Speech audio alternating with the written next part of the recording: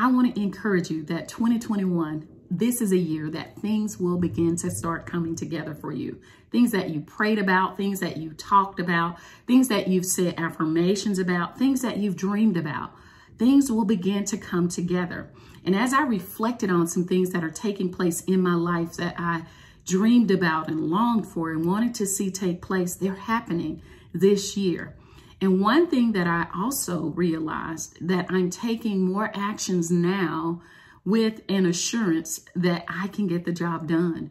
And I encourage you to go forth, take risk, take actions, do what's necessary in order to see the manifestation of your dreams. Things don't just happen.